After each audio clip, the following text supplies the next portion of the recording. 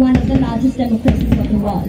Therefore, I would like to invite our chief guest, Honorable Chairman Sir Parmanand Trisantra Sir, to bless the program by hoisting the national flag along with our respected principal sir. Sir, please.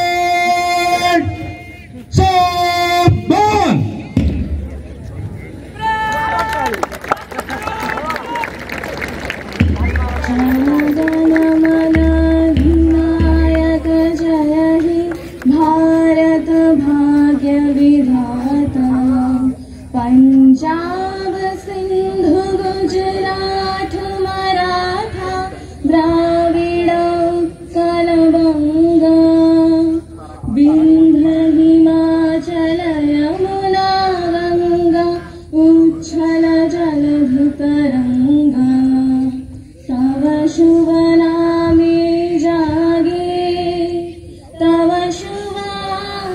मागे गाहे तव जय गाथा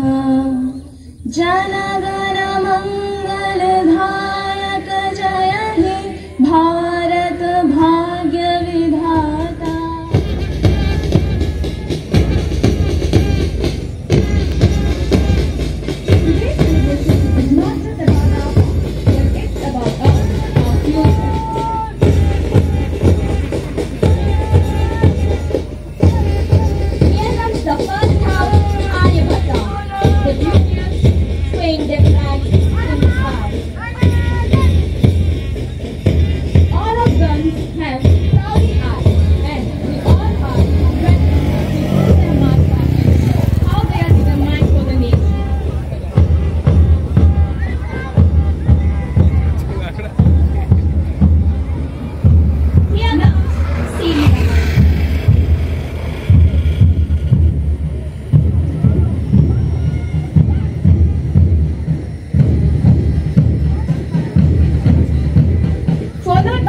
Siviraman, JC House is following them.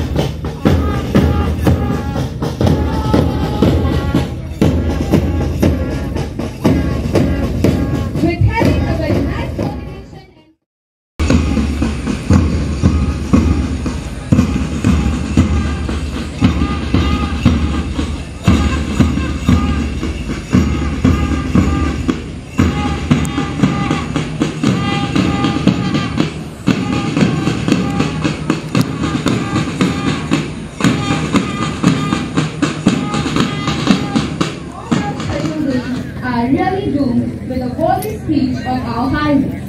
Accordingly, we are request our Professor Dr. L.D. Nightfall to deliver a few words and influence us at this present moment.